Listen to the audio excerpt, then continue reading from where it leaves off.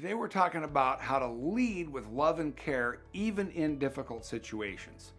Imagine for a minute the most difficult leadership situation that you've ever faced. Was it big or was it little? I can ask you this how would you react if your team cost you $165,000? Would that be little? Would that be big to you? Because my team made a $165,000 mistake just this last weekend in my business.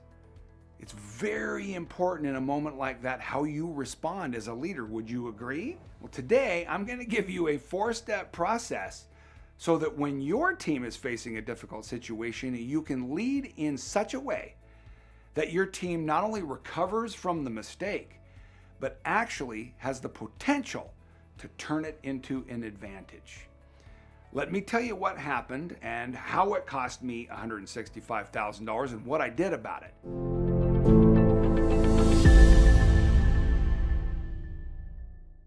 First, my name is John Boggs. I am the co founder of the Brave Thinking Institute, where I serve as CEO, and I'm also the founder of our business and leadership division. And today we're talking about transformational leadership, how to transform the results that you'd love to see as a leader.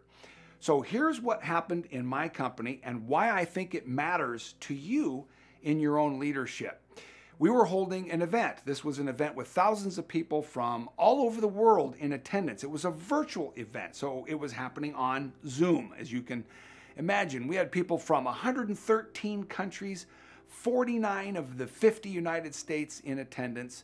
And as we were serving these people, we were at a moment where we were offering them an opportunity to do more work with the Brave Thinking Institute when there was an inadvertent message that one of my team members sent out that completely erased the opportunity for people to act on what they would love. And at the end of the event, when end of the evening, that first night, it was a four night event. At the end of the first night, when we made that opportunity available, we could empirically measure that that mistake cost us at least $165,000. Someone made a mistake. It cost me, my company, $165,000. How do you react? How do you respond in a moment like that? You see, I believe the way you respond in a situation like that as a leader is absolutely what makes the difference between a great team, between a world class team, and an average team. So, I'm going to share with you the four keys to great response in that moment. They start with a mindset or an attitude. And in this case, this comes from Napoleon Hill. Napoleon Hill studied 500 of the most successful people and how they handled adversity, challenges, difficult times, mistakes. He found every single one of them handled those situations exactly the same way. How do you think they handled them? He said, Every adversity, every failure, every heartache carries with it the seed of an equal or greater benefit. What does that mean? That means no matter what you face, no matter what you think it costs us, there is some way for you to find an equal or greater benefit if you go to look for it. But like any seed of good, it has to be discovered, planted, nurtured, cultivated, and harvested. And no matter what occurs in your business that looks difficult, there is a way for you to turn that challenge, that heartache, that potential problem into a blessing if you use the right leadership. The four steps on top of this mindset are the key, I believe, for you to be able to turn anything that you're facing that might look like a difficult situation into a potential blessing. So here are the four steps, and they're frankly very easy to remember. The first one is don't catastrophize and don't minimize.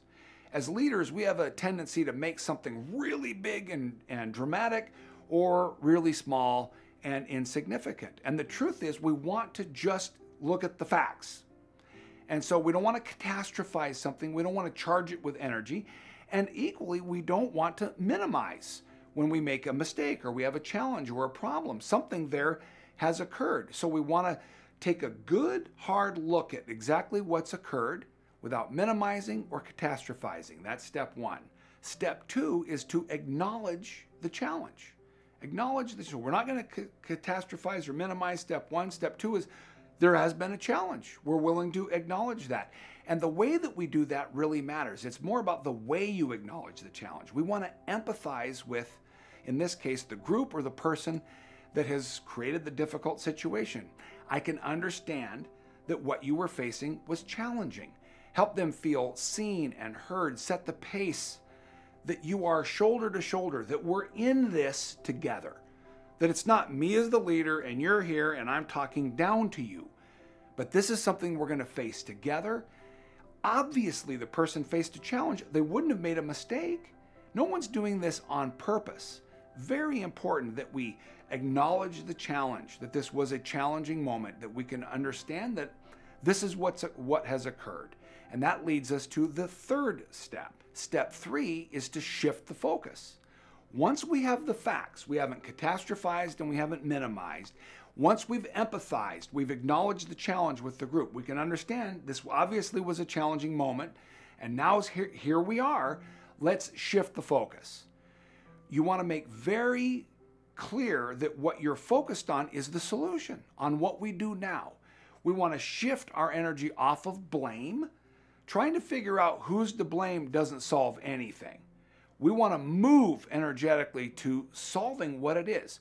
So, a great question that you can ask yourself is what can I do where I am with what I have to move in the direction of my vision? What is the vision for the result you have? We had a goal as an example for the event that we were holding. Okay, day one, we're down 165 grand. We still have the vision for the entire event in mind.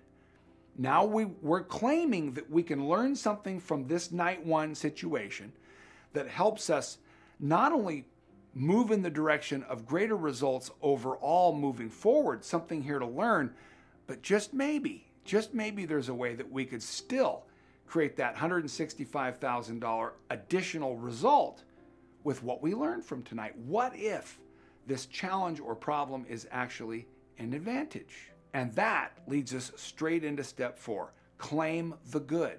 Remember, every challenge, every adversity, every heartache, every problem comes with it the seed of an equal or greater opportunity. How can we turn this challenge into an opportunity? How could we turn this challenge into an opportunity? This was the question I was asking my team. And here's what's beautiful. Yes, we lost the tagging on all of those people. But as they were able to go back and say, you know what, we do have that list in this other way, they were able to reach out to those people.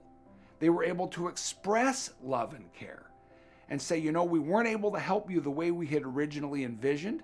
Here's what occurred, and here's what we would love to do now. We were able to express extra love and care with that group. And did you know that, yes, we missed them night one? But the way that we responded actually left them feeling like, wow, this is the kind of an organization I'd love to do business with. And here's the interesting thing. We were able to measure by the end of the event that that $165,000 mistake, because of the way we handled it, turned into a half a million dollar additional blessing for us. So every time you're in that moment where you're facing your version of darn it, we made a mistake, darn it, we have a problem, you too can ask yourself, wow, how can this heartache, how can this adversity hold within it the seed of an equal or greater opportunity for us?